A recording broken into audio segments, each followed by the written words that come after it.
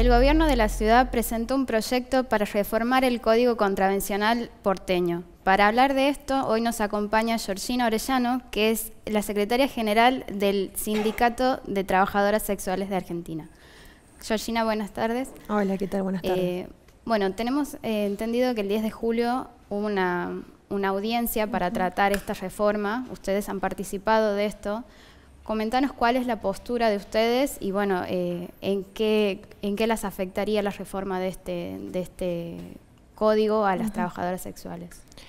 Bueno, la verdad que es un código de convivencia eh, que claramente ciertas actividades que antes estaban por fuera eh, del órgano de la Policía Federal eh, es contemplado como punibles desde ruidos, ruidos escandalosos, también afecta a los vendedores ambulantes, a los trabajadores y trabajadoras de la vía pública, eh, a los compañeros y compañeras que son eh, artistas eh, callejeros. Digamos, hay una mirada totalmente expulsiva por parte del gobierno de la ciudad a los trabajadores y trabajadoras de la economía popular y eso afecta a nuestro sector porque actualmente en el Código de Convivencia de la Ciudad de Buenos Aires, ejercer el trabajo sexual en la vía pública de manera ostensible eh, es una actividad ilícita eh, cuya penalidad, digamos, es una contravención, cuya penalidad es eh, una multa o son días de trabajo comunitario, pero la verdad que para nosotras, tal cual está explicitado nuestra actividad dentro del código, le otorga poder a la fuerza de seguridad para que puedan tener en sus manos y en su poder la persecución policial hacia nuestras compañeras. Bien, hablan también, ellos lo presentan a esta, esta reforma como, una perspectiva de género, eh, sin embargo son muchas las trabajadoras que se van a quedar sin un ingreso. Así es. Dicen que la reforma planteada de la forma en que lo quieren modificar tiene una perspectiva de género porque entraría el acoso callejero dentro del código contravencional. Eh, y también en el caso de otros trabajadores y trabajadoras, como los cuidacoches, por ejemplo, la multa eh, va a ser mayor si le quieren cobrar eh, a las mujeres. y esa es la mirada, digamos, que, tiene el gobierno de la ciudad y que entiende por perspectiva de género, pero en realidad hay otros sectores que también somos mujeres, que somos las trabajadoras sexuales, eh, las vendedoras ambulantes, las cuidacoches, porque también hay compañeras que ejercen ese trabajo, eh, que vamos a ser eh, penalizadas, entonces y penalizadas y perseguidas. Entonces, claramente las perspectivas de género que tiene el gobierno de la ciudad tiene un corte de clase.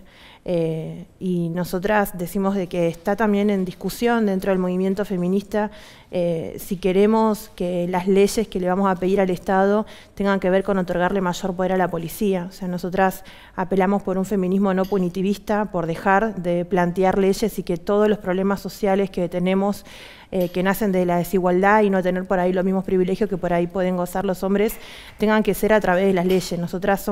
planteamos más bien un feminismo para la transformación. Y, no estamos tampoco de acuerdo con la cuestión de que el acoso callejero entre a ser una contravención, porque también tiene un corte de clase y los que van a ser perseguidos son eh, los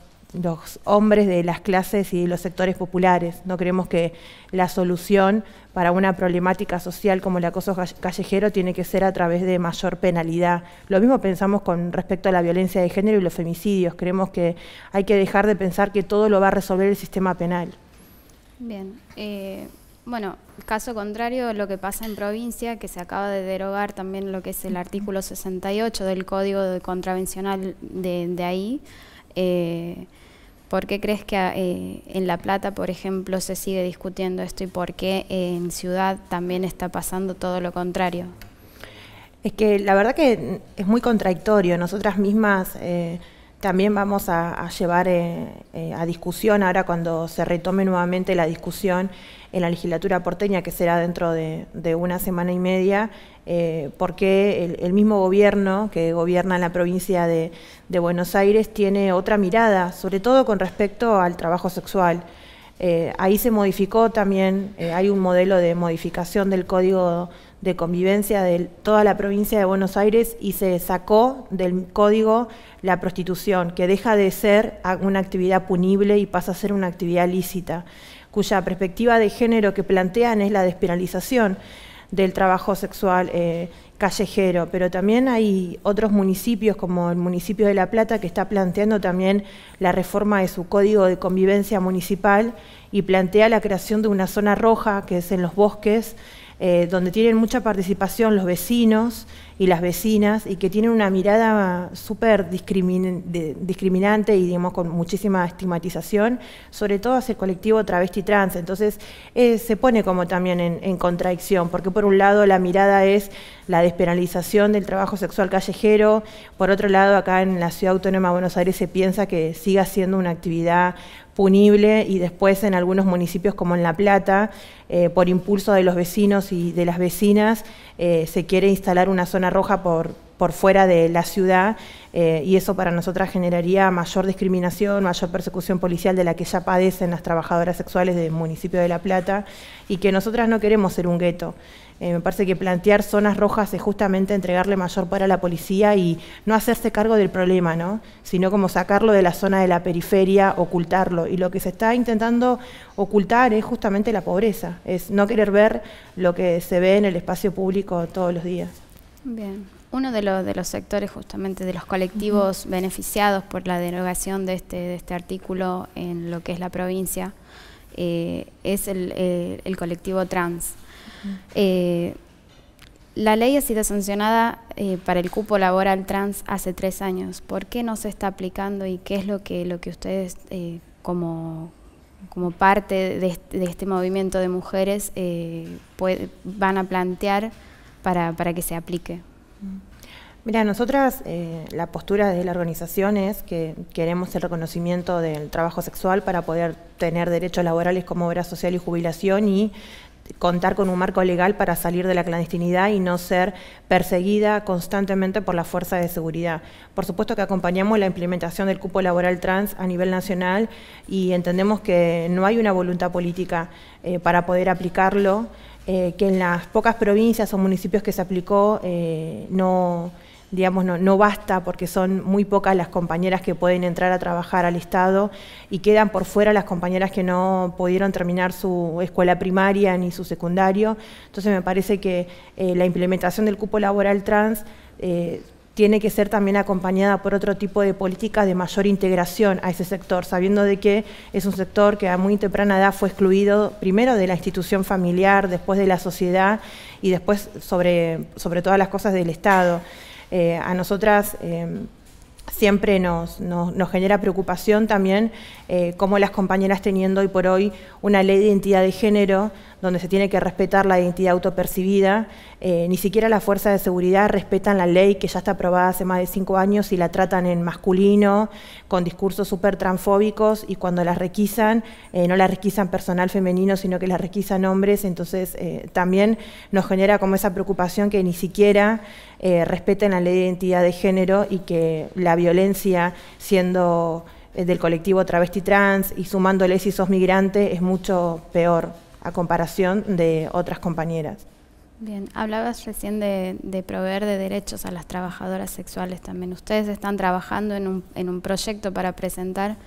eh, desde Amar. Sí, mira, ya hace varios años presentamos un primer proyecto que fue en el 2013, un proyecto a nivel nacional que ingresó por el Senado con la firma de un solo senador que en este momento tiene su mandato cumplido. En ese momento y en ese contexto donde la política de Estado era combatir la trata de personas y se entendía por trata también la prostitución sin poder hacer una diferencia entre lo que es un delito como lo es la trata de personas con fines de explotación sexual, a lo que es una actividad lícita, porque el ejercicio del trabajo sexual, siendo mayor de edad y ejerciéndolo de forma voluntaria, no contempla un delito a nivel nacional. Si por fuera, entendiendo que Argentina es un país federal, cada municipio, cada provincia tiene sus propias legislaciones y prohíben ciertas modalidades o ciertos espacios donde nosotras podamos llevar a cabo nuestro trabajo. Eh, como lo es la vigencia de los códigos contravencionales en casi 17 provincias. Eh, el proyecto ese perdió estado parlamentario y hoy por hoy nosotras estamos eh, trabajando con eh, con un grupo de abogados y abogadas de la organización y con algunos aliados y aliadas en un nuevo proyecto cuyo principal eje es la despenalización total del trabajo sexual y el reconocimiento de nuestro trabajo como trabajo, la creación de la categoría como trabajadora sexual en el monotributo para que nosotras podamos eh, darnos de alta, eh, pagar el monotributo, pero con un, con un trabajo que es el que verdaderamente ejercemos y no con otras figuras que hoy por hoy lo podemos hacer, pero de manera engañosa. y así, de esa manera, darnos de alta en el monotributo, poder acceder a la obra social y realizar los aportes jubilatorios. Ese es el modelo que, queremos, es un modelo pensado por las trabajadoras sexuales, que lo estamos trabajando, que ya eh, entramos en diálogo con algunas diputadas de distintos espacios políticos que, lo quieren ver, que están interesadas en el proyecto eh, y sobre todo están interesadas en que, el, que el proyecto justamente plantee eh, ponerle un freno a la persecución policial, al abuso, al pago de coimas y a las detenciones arbitrarias que padecemos a diario por no tener un marco legal eh, donde poder trabajar con una protección del Estado. Bien, la próxima audiencia para, para la, reforma de este, de este código es el 31 de julio. ¿Cómo se están preparando ustedes y qué es lo, quiénes van a, van a asistir? ¿Qué es lo que van a plantear?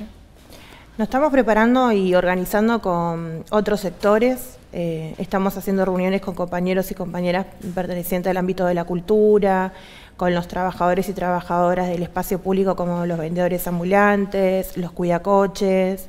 Eh, sabemos que lo que por ahí llegase a plantear el gobierno de la ciudad es poder sentarse con algunos actores y con otros no. Eh, sabemos que hay una mirada totalmente de rechazo hacia ciertos trabajos y uno de ellos son, por ejemplo, los compañeros y las compañeras que trabajan eh, limpiando vidrios y cuidando autos, que, son como que la peor perspectiva que tienen ellos es que no va a haber un puente de, diálogo, pero sí nosotras queremos poner en discusión en, la reforma desde nuestro sector la derogación del artículo 81 y justamente trayendo a la discusión eh, lo que sucedió hace pocos días en la provincia de Buenos Aires, ¿no? Y poder decir cómo en la provincia de Buenos Aires, donde gobierna Cambiemos, tienen otra perspectiva y otra mirada con respecto a la prostitución callejera, y en la ciudad de Buenos Aires la reta tiene otra mirada, o sea, cómo puede ser que, haya esa contradicción eh, dentro de un mismo partido y, poner en discusión que se deje de perseguir a quienes decidimos ejercer el trabajo sexual en el espacio público. Bien, en el marco también de, adquirir derechos, sobre todo las mujeres, el, el, 8 de agosto se debate en el Senado la aprobación del aborto legal, seguro y gratuito. Eh, ¿Cuál es tu postura y qué, crees que va a pasar en ese día? La postura de la organización eh, históricamente fue de apoyar. Nosotras eh, defendemos justamente el poder de decisión que tenemos las mujeres sobre nuestros propios cuerpos y que el Estado justamente tiene que estar presente para garantizar que nuestros derechos no sean vulnerados y que la sociedad tiene que respetar las decisiones que tomamos. Eh, justamente por eso defendemos el trabajo sexual como trabajo y también planteamos exactamente lo mismo, la autonomía, el poder de decisión, el respeto, pero también la presencia eh, del Estado. Eh, y claramente vamos a estar nuevamente acompañando en la vigilia que se está eh, por hacer el 8 de agosto, entendiendo que el Senado es eh, un espacio un poco más hostil que lo, que, fue la Cámara de Diputados, que lo estamos viendo ahora en, los, en, las discusiones en el Senado que se dan todos los martes y, los jueves. Que la verdad vemos que, que, hay no como una intención de que el peor escenario que nos puede pasar es que quieran modificar algunos artículos del proyecto y que el proyecto vuelva a la Cámara de Diputados. Eso es como el peor escenario, pero creo que más allá de lo que suceda, eh, hay, hay, algo que, no va a cambiar más, ¿no? que es como la acumulación del contenido político que, que tiene hoy por hoy el movimiento de mujeres lesbianas, bisexuales, eh, travestis y trans, y que las mujeres ya no vamos a ser iguales que antes, ¿no? Sabemos que, la calle es como la herramienta de lucha, eh, hoy me parece que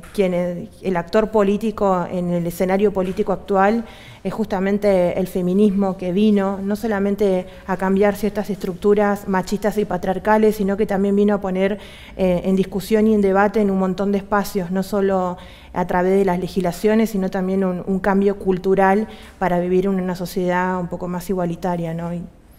Georgina, ¿qué tan lejos o tan cerca creen que están ustedes de ser reconocidas como, como trabajadoras sexuales? Y sobre todo, ¿qué debate también se está dando en lo, eh, lo que es dentro del feminismo? Porque hay un sector que es, eh, es, el de las abolicionistas, entonces queríamos ver más o menos cómo está eh, la situación de ustedes hoy. Bueno, AMAR es una organización que ya tiene 23 años eh, de lucha justamente por el reconocimiento, por, visibilizar eh, las problemáticas eh, y la violencia que justamente padecemos por no tener un reconocimiento de nuestro trabajo.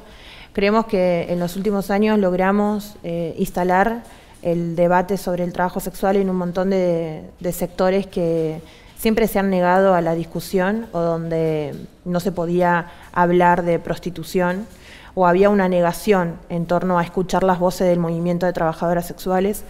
Uno de esos espacios es el Encuentro Nacional de Mujeres. Nosotras recién en el año 2015 pudimos eh, tener nuestro propio taller de mujeres trabajadoras sexuales, discutir una agenda planteada por nuestro movimiento y no una agenda impuesta eh, y así con un montón de espacios, el espacio de Ni Una Menos, las asambleas de cara al paro internacional, que fue el 8 de marzo de este año, eh, o sea, en fechas claves, eh, a nosotras siempre nos costaba un montón poder plantear la discusión de que nuestras voces y nuestras problemáticas tenían que ser visibilizadas en documentos, que teníamos que ser mencionadas, que lo que no se menciona no existe y que no, no se podía negar que las trabajadoras sexuales estábamos organizadas. Eh, nosotras ahí creemos de que hemos logrado eh, tener mayor visibilidad, eh, que hemos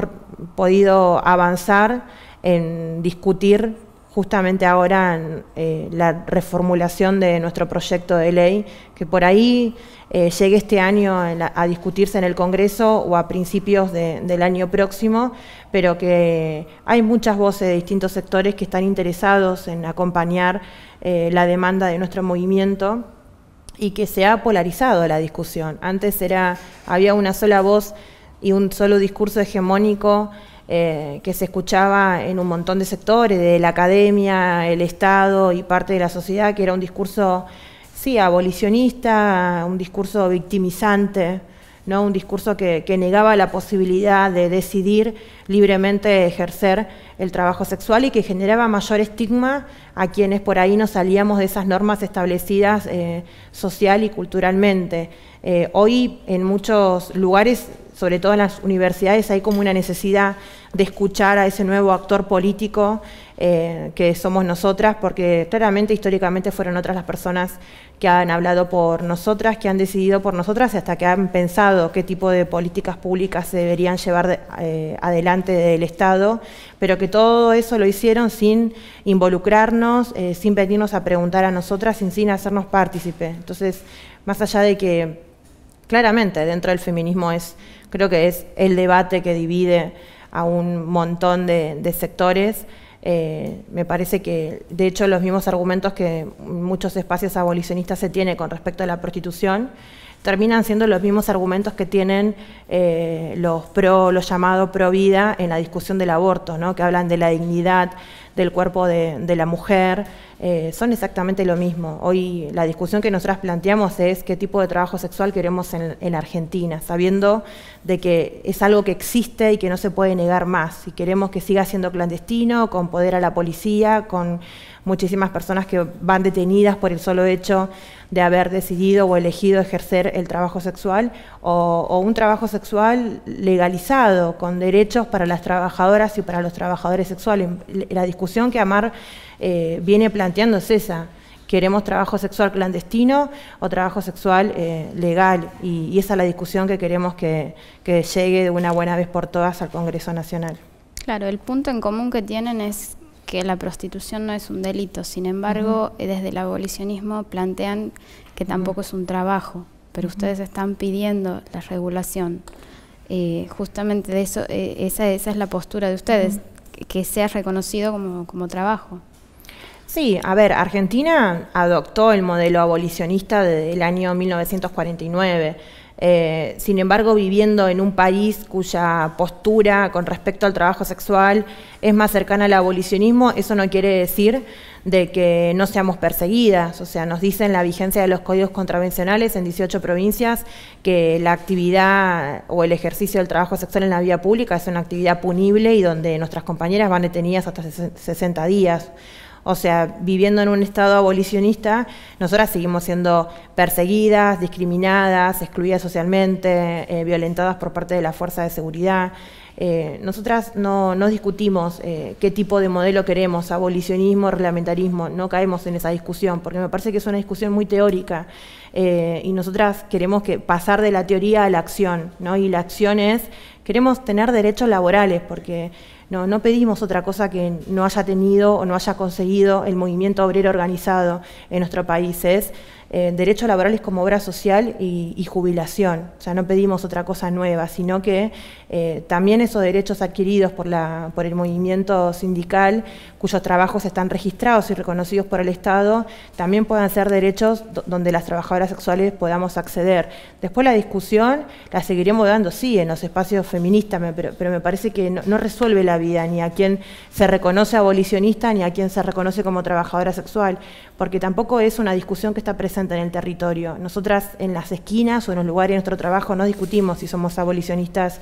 o regulacionistas, discutimos que no queremos ir más presas, ¿no? y que queremos poder trabajar tranquilas sin tener que pasar esa noche detenidas y poder tener derechos, poder tener jubilación nosotras, poder tener una obra social que también puedan acceder nuestros hijos, entendiendo que el 86% de las personas que ejercemos el trabajo sexual somos mujeres, somos mamás, somos jefa de hogar y el único sostén económico que depende de nuestro entorno familiar es el nuestro. Entonces volvemos a repetir, hoy el trabajo sexual existe. Eh, y la discusión pasa, pasa más que nada por qué tipo de trabajo sexual queremos tener en, en nuestro país, legal o clandestino. Bien, Georgina, muchas gracias. Nada, vos.